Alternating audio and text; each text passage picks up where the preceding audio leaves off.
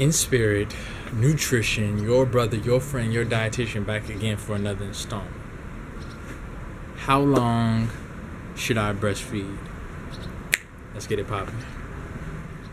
In truth, to keep the answer short, one should breastfeed however long she and the baby feels comfortable to breastfeed. Who am I? I am your brother, your friend, your dietitian.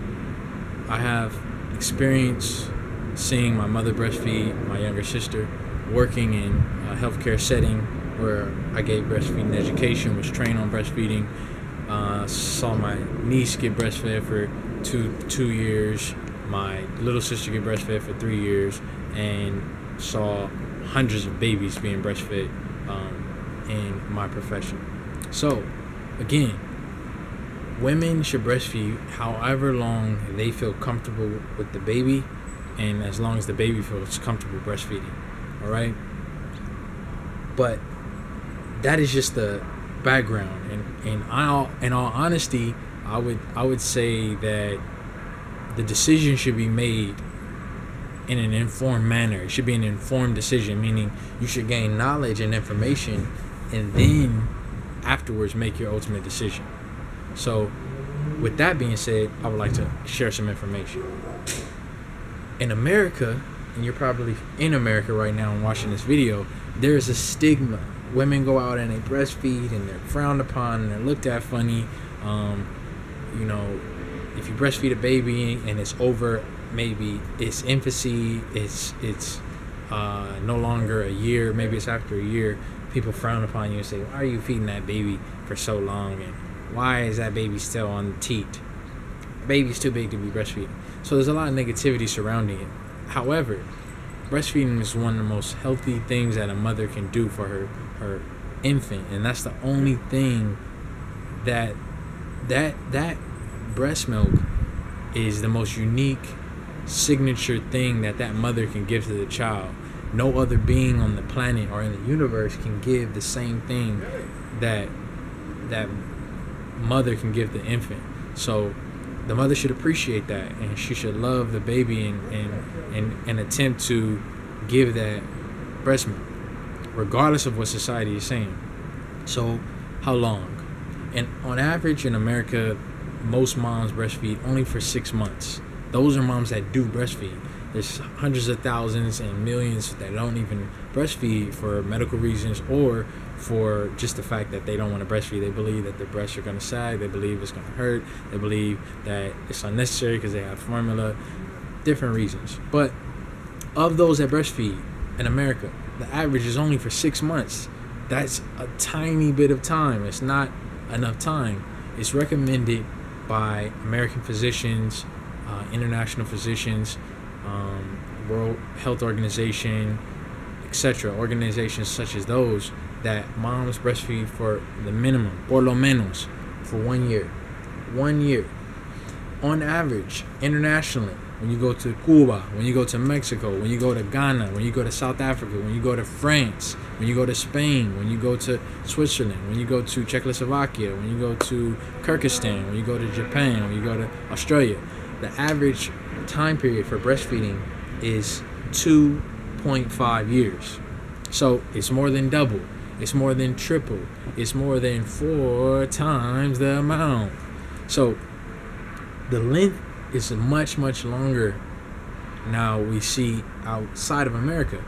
But so what? Why should I breastfeed for two and a half years? Why should I breastfeed for a year? Why should I even breastfeed for more than six months?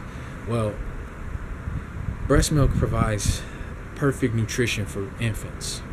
It gets the baby an immune boost in the form of what? The liquid gold, colostrum. Secondly, it gives it antivirals, it gives it anti-cancers, it helps prevent childhood and adult, uh, later adulthood uh, obesity. It helps with preventing um, sudden infant death syndrome. So many different things down the line. It helps with that infant. As excuse me, as well, it creates a bond between mother and infant. S- something even better is that over time, the breast milk actually gets better, it gets healthier. The benefits improve and increase. So therefore, the the percentage of mom the, the percentage of of risk for a mother getting breast cancer down the line the sooner she breastfeeds meaning if she breastfeeds when she's 16 17 18 19 20 21 25 etc earlier and for longer she actually has a lower risk for breast cancer ovarian cancer etc so the sooner you have children and the longer you actually breastfeed the better i'm not saying that you should have children soon i'm just giving the facts so the point is that the longer you breastfeed, you have more benefits. So the breast milk actually gets richer in nutrients. Could you believe it? And it gets sweeter. Could you believe it? So a mom going for three months, cool. You did your best. But if you could go for six months, that's even better. A mom going for six months. If you can go for 12 months, that's even better. If you can go for 12 months, go for 24 months. If you can go for 24 months, then you're doing good. You can push it further if you want. My little sister was three. I remember when she used to breastfeed. She still remembers breastfeeding. So it's a bond thing. You carry the infant, you carry the fetus, you create the child 10 months, 9 months, you give birth, and guess what? You're saying that the baby is getting babied and it's going to be spoiled if it's breastfed for too long. That's nonsense. You think your breasts are going to sag? No.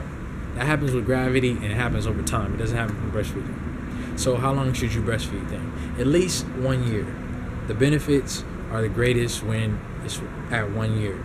Better cognitive development, better eyesight. I mean, uh, uh, uh, ocular development. You know, dealing with the eyes. Um, you know, just overall it helps with the flora and fauna in the GI tract. Flora and fauna are the probiotics, or excuse me, the the the um the basically the bacteria positive bacteria inside the the the GI tract. The GI tract is the intestines. It, it carries um, it's the large intestines and small intestines. It carries a, a lot of bacteria in there. Some of it good, some of it bad. Breast milk promotes that in there. So the longer you do it, the better. Right. Uh, your brother, your friend, your dietitian, back again for another installment. If you have any questions, drop them below the video. If not, uh, I appreciate you all for watching. Give yourself permission to live your dream. Peace.